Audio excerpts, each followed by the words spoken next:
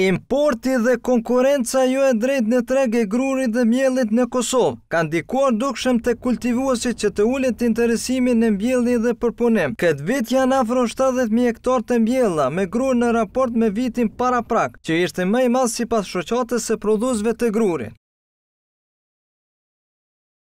Në vitin dy mijë e gjashtëmbëdhjetë kemi pasur të korrura mbi tetëdhjetë e katër mijë hektarë, ndërsa për këtë vit shtatëdhjetë mijë hektarë, faktorët të cilët kanë ndikuar që motivimi për mbjelljet e kësaj kulture bujqësore strategjike për Kosovën është se ne nuk kemi qenë të barabartë në terren për shkak të importit të pakontrolluar që ka hyrë në Kosovë sidomos nga Serbia. Kryetari i Shoqatës së Prodhuesve të Grurit, Pal Gjuraj, gjithashtu thotë se kriteret e përcaktuara nga ana e Ministrisë së Bujqësisë, po janë të vështira për t'u përmbushur nga ana bujqëve dhe kësisoj ata kanë bërë kërkesë që të ketë masa lehtësuese në këtë aspekt.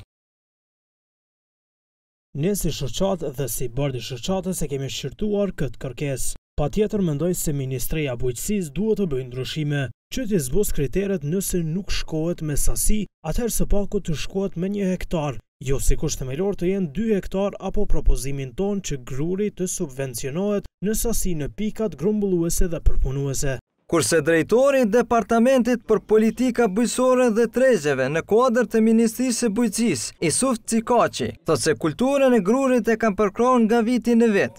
Cikaqi po ashtu shton se varet nga interesimi i kultivuesve se sa do të ketë të mbjella të grurit. Neve me këtë sipërfaqe që aktualisht mbillen në Kosovë, ngase është kulturë njëvjeçare, edhe te kulturat njëvjeçare nuk ka sipërfaqe fikse, këtë duhet ta kuptojnë gjithë, po sidomos gazetarë, sepse shumë herë bëjnë pyetje pse pse sivjet më pak, pse më shumë, është kulturë njëvjeçare. Fermeri këtë vit ka pas leverdi dhe interes dhe ka gjetë treg, mbjell më shumë grurë, vitin e ardhshëm nëse e sheh që nuk ka treg, e ndrron atë kulturë dhe e zëvendëson me një kulturë tjetër. Me rëndësi që është politika mbështetëse e Ministrisë është e njëjtë, ai sikur vitin e kalun që ka mbjellë grurë sikur këtë vit, ai prapë do të merr subvencion. Prapë do të ketë përkrahje nga shteti.